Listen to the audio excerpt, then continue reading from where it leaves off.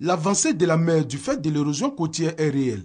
L'accroissement rapide de la population dans les zones côtières du fait des activités économiques qui s'y déroulent contribue davantage à les dégrader. Face à cette situation, il faut faire vite pour trouver des solutions idoines. C'est ce qui explique la première réunion ici même à Abidjan de la Moloa, la mission d'observation du littoral ouest africain, instance opérationnelle du programme régional de lutte contre l'érosion côtière de l'UMOA. Il s'agit au cours de cette rencontre de mener des réflexions en vue de la protection des zones côtières du littoral. L'UMOA, avec ses partenaires, a mis en place un outil scientifique important qui va aider les décideurs à anticiper les situations à l'origine des risques de catastrophes et à proposer des solutions adaptées pour notre littoral.